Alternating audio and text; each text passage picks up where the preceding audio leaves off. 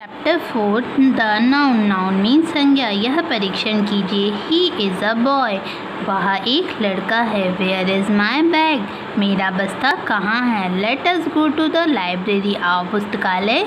चलते हैं। ऊपर ये जो वाक्य दिए हैं सेंटेंस दिए हैं, इसमें बॉय क्या है? पर्सन है। बैग थिंग और लाइब्रेरी प्लेस है. डेफिनेशन ऑफ़ नाउन संज्ञा की परिभाषा. A noun is a name of person place animal और थिंग किसी व्यक्ति, वस्तु, जानवर या स्थान के नाम को संज्ञा कहते हैं. काइंड्स ऑफ़ नाउन संज्ञा के प्रकार. संज्ञा के पाँच प्रकार होते हैं. Common noun proper noun collective noun material noun and abstract noun जातिवाचक संज्ञा, व्यक्तिवाचक संज्ञा, समूहवाचक संज्ञा, पदार्थवाचक संज्ञा और गुणवाचक संज्ञा.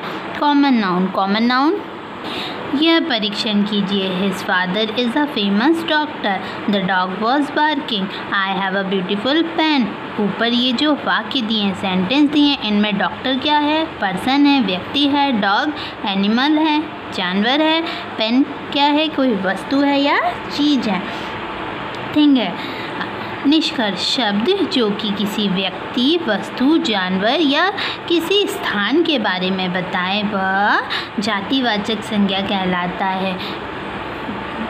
Word that tell about any person place animal or thing name that is common noun.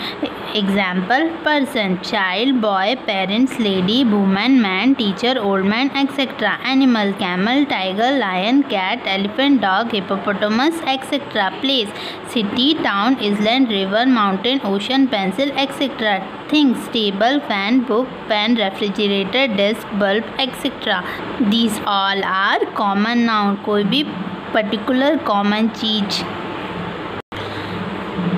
Proper noun व्यक्तिवाचक संज्ञा यह परीक्षण कीजिए। Manav is my classmate Delhi is the capital of India Jackie my pet dog seldom bites Manav क्या है इसमें? Person है, व्यक्ति है, दिल्ली जगह है प्लेस है और जैकी एनिमल है। यानी किसी भी पर्टिकुलर पर्सन प्लेस एनिमल के नाम को जाति, व्यक्तिवाचक संज्ञा कहते हैं प्रॉपर नाउन कहते हैं, कोई भी प्रॉपर चीज़, जैसे महात्मा गांधी, एक प्रॉपर पर्सन एक पर्टिकुलर पर्सन है। दिल्ली दिल्ली एक पर्टिकुलर जगह का नाम है, सिर्फ़ एक ही जगह का नाम है। एक प्रकार के व्यक्ति या वस्तु जो एक साथ लिए जाते हैं का समूह कलेक्शन नाउन कहलाता है। कोई भी व्यक्ति या वस्तु, कोई भी पर्सन या थिंग एक साथ झुंड में ली जाती है उसको क्या कहते हैं? कलेक्टिव नाउन कोई भी चीज़ जो कलेक्शन में ली जाए, उसको कलेक्टिव नाउन कहते हैं।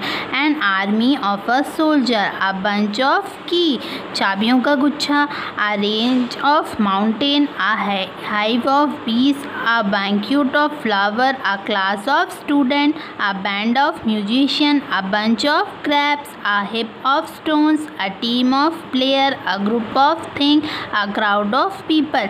ये सब क्या है? सब एक साथ इकट्ठे हैं। तो ये कलेक्टिव नाउन है। फॉर एग्ज़ाम्पल हमारे पास बहुत सारे पेन हैं। तो ये सब क्या है? सब कलेक्ट हो जाएँगे। जैसे ये पेन है, ये बहुत सारे हैं, ये हमने कलेक्ट कर लिए तो ये काय में आएँगे? कलेक्टिव नाउन में आएँगे। मटेरियल, नाउन, पदार्थवाचक संज्ञा, यह परीक्षण कीजिए। Ansh water diamond ring my shirt is made of cotton I don't like too much sugar in the milk the hut is made of mud Ansh ने क्या लाई? डायमंड रिंग लाई. डायमंड क्या है? मटेरियल है. My shirt is made of cotton मेरी शर्ट कैसी है? कॉटन की है. तो कॉटन क्या है? कॉटन भी मटेरियल है. I don't like too much sugar मुझे ज़्यादा शुगर नहीं पसंद है. शुगर क्या है? शुगर भी मटेरियल है. The hut is made of mud झोपड़ी गाय की बनी है? मड की बनी है. मड भी क्या है? मटेरियल है, डायमंड, कॉटन, शुगर मड पदार्थ, जिनसे कोई चीज़ बनी है, जिनसे कोई भी चीज़ बनती है, अतः यह पदार्थ देखे और छुए जा सकते हैं। ये जो चीज़ें हैं, इनको हम देख भी सकते हैं और छू भी सकते हैं। इन्हें क्या कहते हैं? मटेरियल नाउन कहते हैं। एब्स्ट्रिक्ट नाउन, गुणवाचक संज्ञा। यह परीक्षण कीजिए। The rose has a lovely smell his bravery amaze the crowd. Honesty is the best policy. The building is in danger of a collapsing. Wisdom is better than strange. Childhood is a carefree period.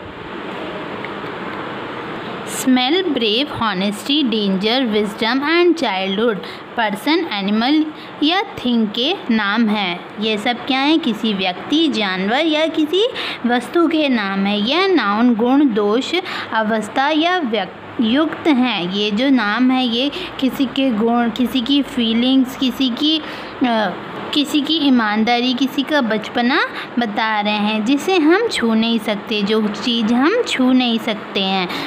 शब्द वर्ग the abscisic noun के साथ प्रयोग नहीं किए जा सकता। निष्कर्ष, नाम जो कंडीशन क्वालिटी फीलिंग या थॉट्स जो हम छू नहीं सकते, सिर्फ़ फील कर सकते हैं, उन्हें एब्स्ट्रिक्ट नाउन कहते हैं। एब्स्ट्रिक्ट नाउन किसे कहते हैं? कोई भी चीज़ जिसको हम टच नहीं कर सकते, लेकिन सिर्फ़ हम उसे फील कर सकते हैं। तो ये सब क्या होते हैं? एब्स्ट्रिक्ट नाउन होते हैं। गुणवाचक संज्ञा, जैसे कि हम बीमार हैं, हम बीमार हैं तो हम बीमारी को छू तो सकते नहीं हैं, सिर्फ़ उसे हम फील कर सकते हैं। जैसे हमें बुखार आया तो बुखार आया तो हम गर्म रहेंगे तो हम बुखार को छू तो नहीं सकते हैं, सिर्फ़ अंदर से हमें फील होता है। साउंड कोई भी साउंड है, जैसे कोई साउंड हमें सुनाई दे रहा है, वो साउंड को हम छू तो सकते नहीं है, सिर्फ़ हमें फील हो रहा है कि हमें कुछ सुनाई दे रहा है। ऐसे ही स्लीप स्लीप हम सो गए। अब सोने को हम छू तो सकते नहीं हैं, सिर्फ़ हमें फील होता है।